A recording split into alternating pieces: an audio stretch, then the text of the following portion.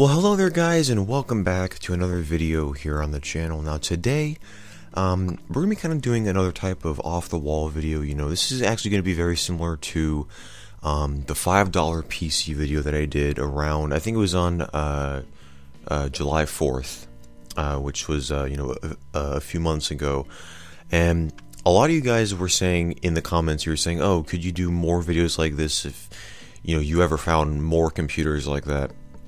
And, you know, of course, that was a kind of a really fun video to make, even though that, that computer didn't really end up working because it needed a, a, new hard drive. But I got these two computers here from uh, a good friend of mine, and um, these actually, I, I, know that both of these uh, don't have hard drives, but uh, he just, you know, basically gave them to me and said, uh, you know, that he can't really do much with them, and, you know, he just wanted me to have them. So, um, and yeah, so we have, uh, you know, we're to be taking a, a, look at them today and seeing, you know, what we can do with them. And I'm, I'm probably going to be, you know, trying to find hard drives for these because, I mean, I think it has everything else besides the hard drives. But I have uh, this one monitor over here. This is, you know, the, the one monitor that I always use. Um, uh, I have it hooked up and we're going to be testing out uh, both of these uh, computers. Actually, let me just plug in my camera here because I started and I had like 20 minutes and now it's down to 3 minutes. So yeah, I think what we're going to do is take a look at this larger PC. This is actually uh, the older of the two. This, as you can see uh, by that sticker right there,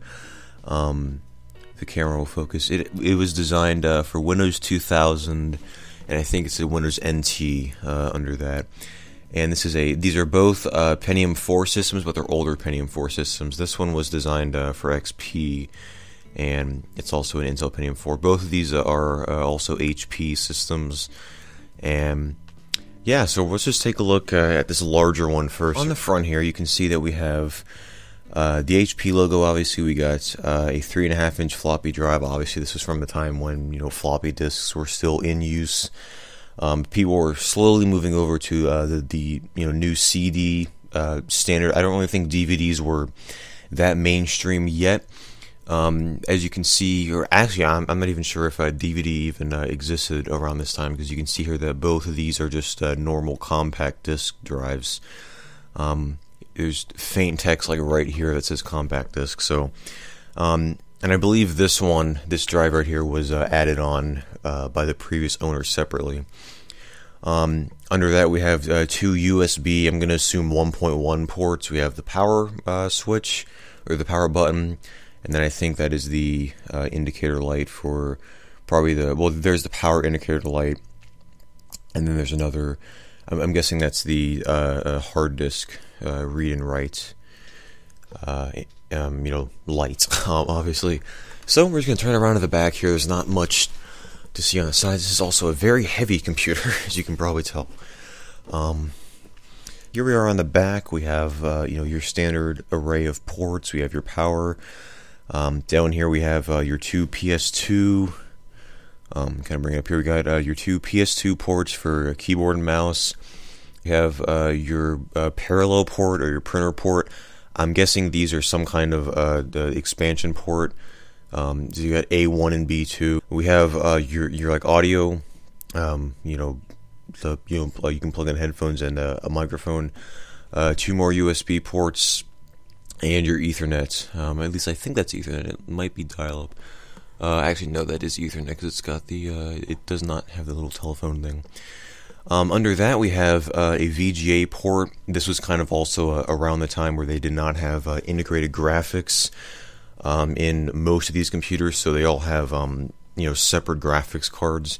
So this one has a VGA only, probably a very you know cheap uh, looking graphics card. We'll you know take a look at it once we get on the inside. Under that, we have what looks like a cable thing. Actually, I think, or or no, that looks like a wireless. That's either a, a cable or, or, no, that says Linksys. So I'm, I'm guessing that is uh, a wireless uh, adapter, and you like plug your uh, wireless antenna up, up into there. And under that, we have uh, your telephone modem right there. So yeah, uh, that that's all the ports on this guy right here. Uh, we'll just take the, the side door off and I'll kind of show you on the inside. I have actually turned this one on before, but I didn't really obviously get to do much because there's no hard drive. Um, and we're probably not going to get to do that much because there is no hard drive, but I can kind of show you like uh, the BIOS and Apparently this thing won't stay up here. Okay, so we have a little bit of a better angle taking a look at this computer, and it is very large. Uh, the other one's not that large. Um, this is probably a, a full-size ATX computer, I think, or but uh, ironically, I think that's a micro ATX motherboard or a, a mini ATX motherboard. I don't think that's a full-size motherboard. Um, so yeah, we have uh, your you know power supply. I think that's probably only around 250 watts, so a very you know basic power supply. Um, I think we only have 256 megabytes of RAM. We'll take a look at that once we get in the BIOS, but there's only one uh, RAM DIMM in there.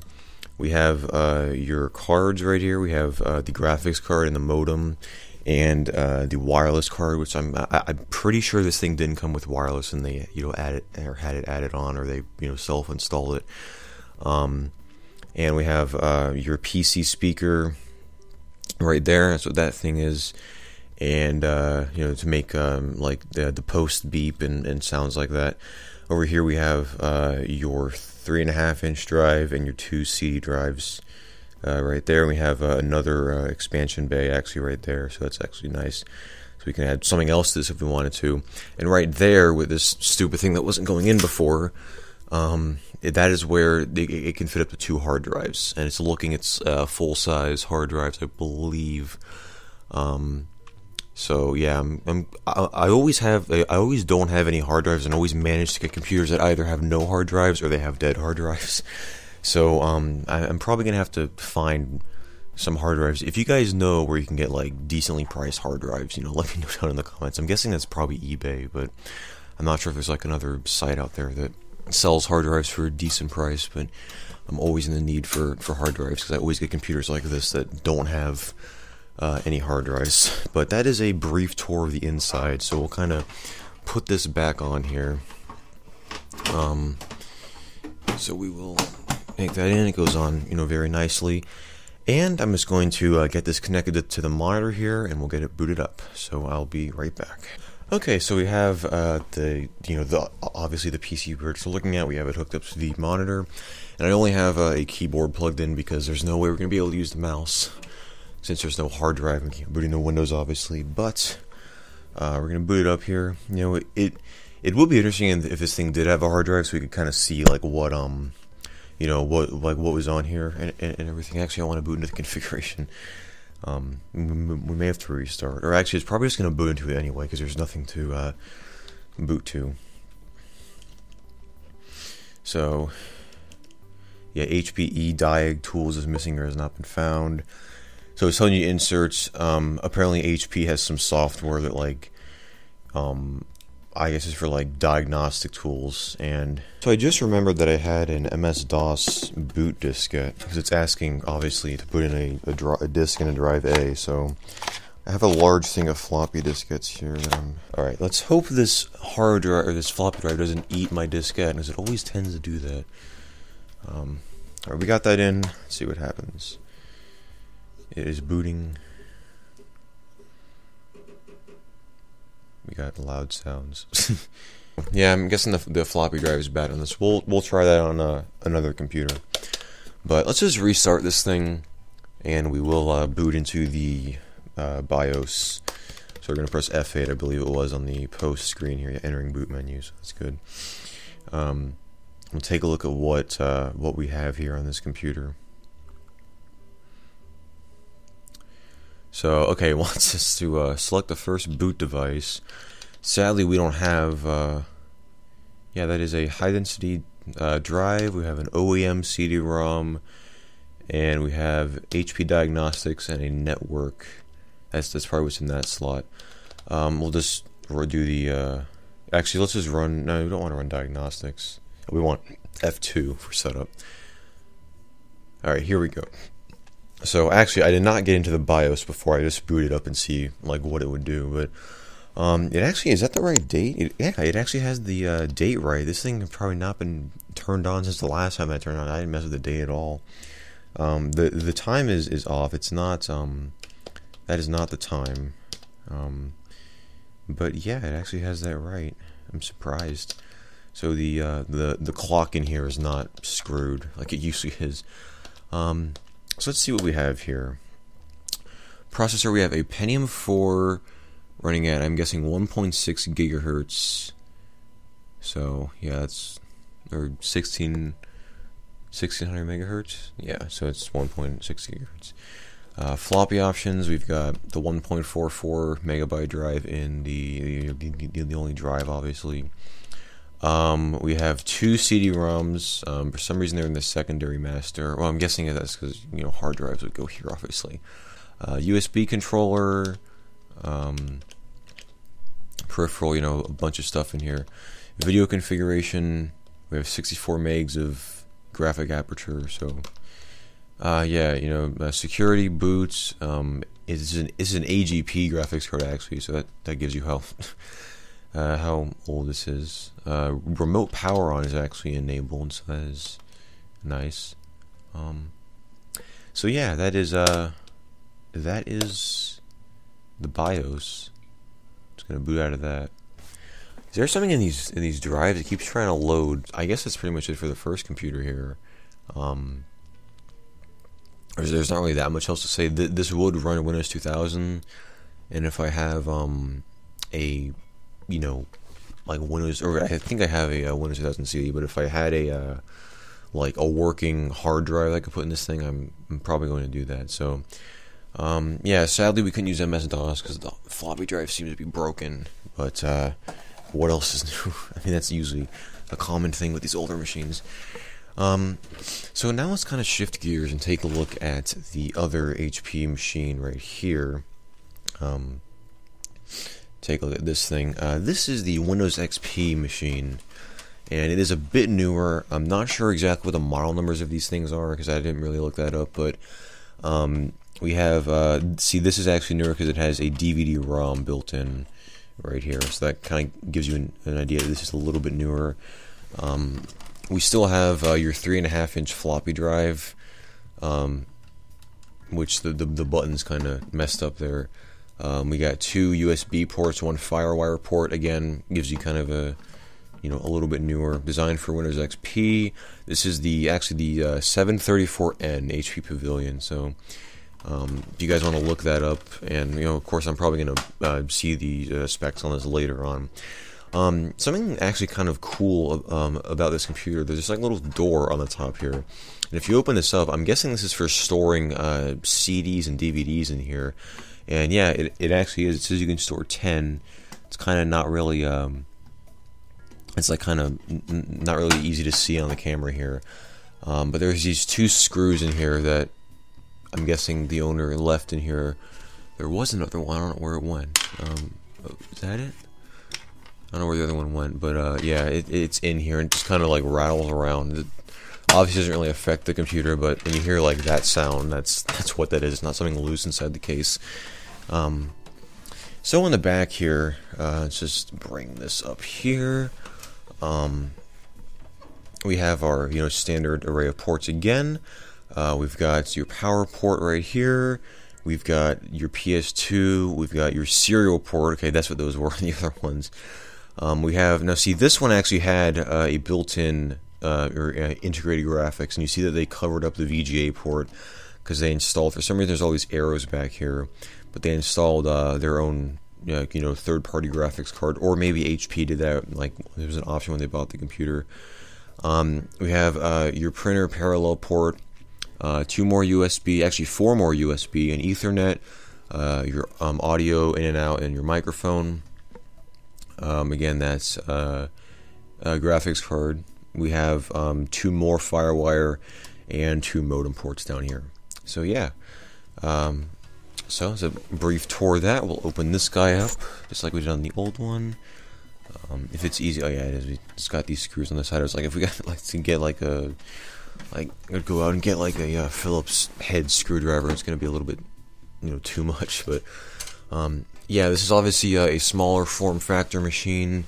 Um, you know, it's a lot smaller than, than this one. It's kind of hard to see in the, the, the case in here. So there's a bunch of, of cord. Not the best cable management, but I mean, on these on these uh, OEM PCs, not really the best cable management anyway. Um, we have the power supply, which is a really really small power supply uh, right here, or it's a elongated one. I'm guessing it's a Yeah, I think I'm guessing that's what it is. I can't see the wattage of it, but it's probably very similar to the other one, probably like 250, 200 watts.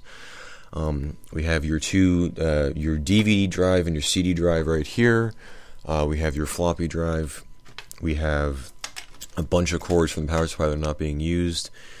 We have um, a. This is uh, the um, uh, modem card, the graphics card, which looks like I'm guessing that is a uh, ASUS graphics card, and it's got like it's cooler. It might actually be a pretty decent card. It's got more than just VGA. It has like S video.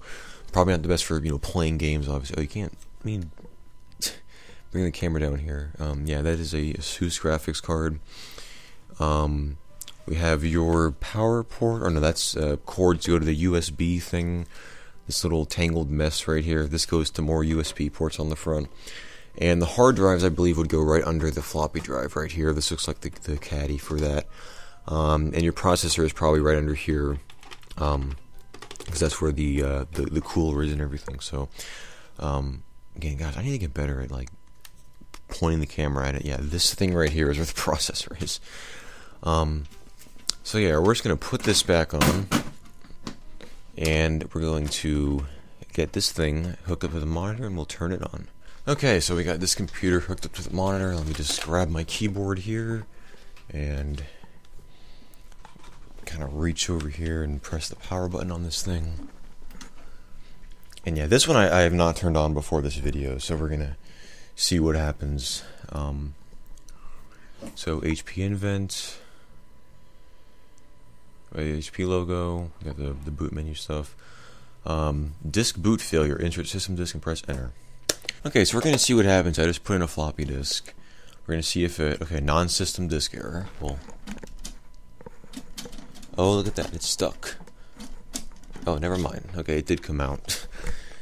I'm just not too lenient about putting, you know, boot disks for Windows 95 that are kind of hard to find these days. So it's okay. Looks like it'll work. Let's hope it does. We've got the Windows 95 boot disk. I'm going to put it in here. You see what it does. Invalid system disk. Okay. Oh gosh, let's see what other stuff we have in here. This is probably a newer machine, so it may not work with Windows 95 stuff, but it's still worth a try. Disk I.O. error. Oh no, this is the same thing that happened before. yeah, disk I.O. error. Um. Yeah, so it looks like the floppy drive is not going to work on here either. Let me just put my boot disk back in here so we don't lose that. So, yeah. Not that we're going to be installing DOS on here because we're going to be putting probably XP on this one and 2000 on the uh, on the other one. But uh, I'm just going to restart this thing. And I think it was F8, maybe F2. Let me read the bottom here when it turns on. It is F1. Okay. I'm going to enter setup here. And again, it has the date right. Again, now this one hasn't been turned on in probably years. um, when he was last used an XP machine. Um, let me get the, uh, the focus is a little bad.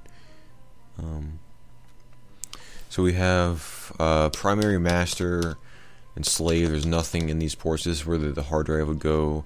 It has the uh, CD drive and the DVD drive and the uh, secondary ports. Um, we got uh, your advanced settings. So this is a AMD Athlon at 2 gigahertz, I'm guessing. I'm guessing what that is. And we have 256k of cache. So that is that is good. This is an AMD processor. Um, well, actually, I thought this was a Pentium 4, so it's not. I could have sworn there was a Pentium 4 sticker right there. So no, this is an AMD Athlon XP 2400 Plus. Um, power, boot, there's your options for that. Um, I'm trying to see how much RAM. Um, because there was not, I, I didn't see a RAM option in the other machine. Um, oh yeah, here it is. Okay, 512 megs of PC 2100 RAM. I mean, yeah, it's you know, just normal DDR. So, uh, yeah, uh, half a gig. I'm, I'm gonna guess the other one had had, had 256. It may had 512. Um, because you know, yeah, you know, there was just one uh, uh, one stick of RAM in the uh, bank there, but yeah. Um, so again, that is pretty much for this computer. We'll exit, save, change to the CMOS. I guess it doesn't really matter because it didn't do anything. Um, see if there's any other options on here. F10 is system recovery. We're not going to do that because there's nothing for the system to recover to. Um, so yeah, I think that is going to about wrap it up for this video. Now, I I, I know this probably was the camera's rapidly trying to focus there. Um, yeah, I, I know this was kind of a completely random type video, but I've actually been working on. If you guys check uh, my Facebook and I think my Twitter page, I posted there too. Um, I've been working on um, a you know video that takes a lot more time uh, to make. It's uh, a time travel video of a console. I'll, I'll, I'll, give you that if you want to see what console it is. You can go to my Facebook page and or my Twitter page, um, because it's I just kind of you know tell you what it is there, obviously. But uh, yeah, so that that video I've been editing is I'm gonna try to get it done uh, in the next few days here. I'm probably get it done uh, next week. But I, I know there wasn't a video this week, and I, I kind of want to get this out. I'm gonna try to get, uh, get it out today. It's uh, Saturday today. I might get it out today, maybe tomorrow.